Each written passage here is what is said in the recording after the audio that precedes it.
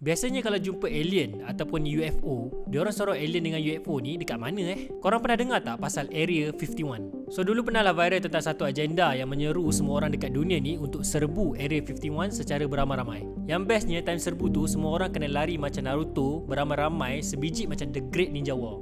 Tapi apa yang ada dekat Area 51 ni sampaikan ada agenda yang macam ni?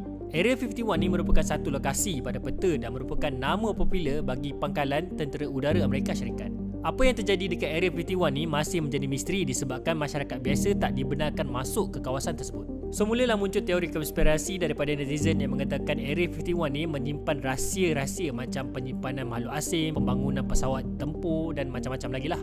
Tapi yang paling famous mestilah pasal alien lah disebabkan ada muncul gambar dan video bangkai makhluk asing ni dekat Area 51. Perkara ni diyakinkan lagi oleh seorang bekas pekerja dekat pusat teknologi alien di Area 51. So Mamat ni kata memang Area 51 tu digunakan oleh Badan Kerajaan Amerika Syarikat untuk mengkaji makhluk asing. Tapi itulah kalau sembang je tanpa bukti semua orang boleh cakap kan. And ada yang cakap bila timbul je isu-isu mengenai UFO ataupun alien ni sebenarnya dia nak alihkan perhatian masyarakat je.